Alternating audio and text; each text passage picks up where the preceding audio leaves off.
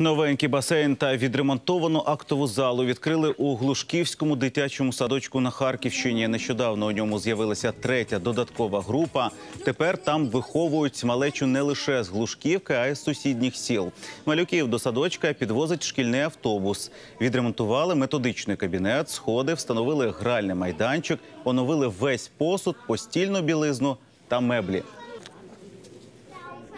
Группы просто в отличном состоянии. Музыкальный зал обновили.